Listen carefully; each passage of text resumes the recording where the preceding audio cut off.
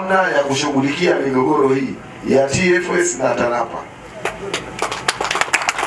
Chama cha Mapinduzi tunathamini, tunaheshimu na tunajali sana utunzaji wa hifadhi hizi na uoto wa asili, lakini uhifadhi huu kwa ndugu zetu wa TANAPA na TFS lazima utengenezewe mfumo shirikishi baina ya wananchi na wao wenye mamlaka.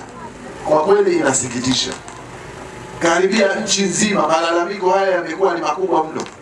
Wananchi wanalalamika kudhulumiwa mali zao, kunyanyaswa, kupigwa, kuwekwa ndani bila sababu. Ni vitu ambavyo havikubaliki. Wakati umefika kwa wenzetu ambao wana mamlaka, kwanza kuwa na mfumo shirikishi na hawa wananchi, lakini pili kuweka utaratibu ambao hifadhi zetu, mapori yetu yataendelea kuwepo, lakini wakati huo huo kuona namna gani ambavyo wanaweka mazingira rafiki kwa hawa wananchi wetu waweze kufanya shughuli zao za kiuchumi.